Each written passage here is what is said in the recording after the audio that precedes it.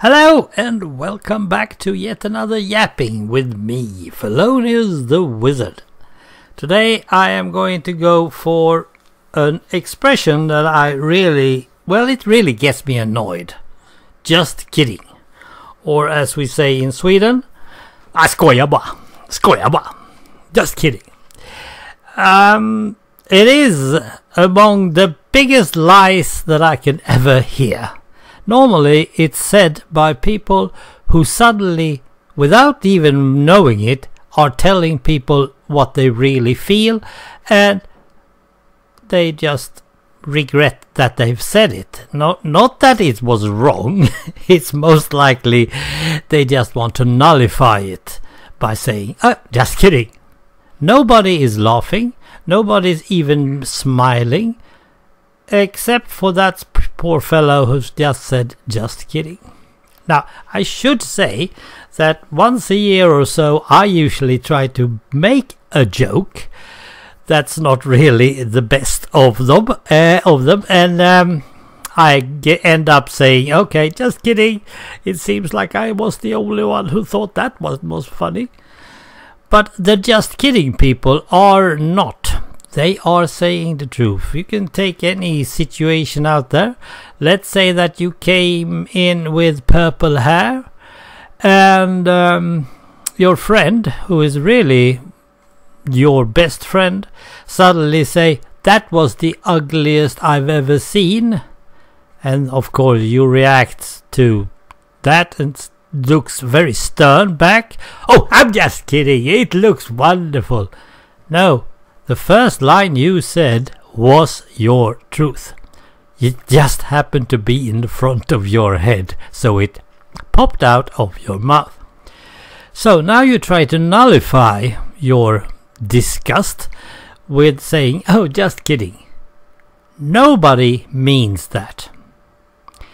However, is there anyone who have come to this situation and people are laughing and it's a kidding, then that's totally different. Uh, I don't like people who are trying to uh, correct themselves. I like honest people. I I really like honest people. And when I try to get something to some examples for this this little topic, I, I came out null. Uh, most of the people on internet uh, and around me are no none of them is a just kidding type. Uh, they are totally the opposite. If they feel like I can handle it they will say it and if I if they think that I can't handle it they are not trying to just kid it away. Um, and of course, we are uh, still having fun together, so it's not like it's a big thing of any kind. So it's not like it's happening to me all the time. So that started to make me think about what type of person does it have to be in order to be a just kidding person? Um, it might have to do with low self-esteem. Might have to do with low self-confidence.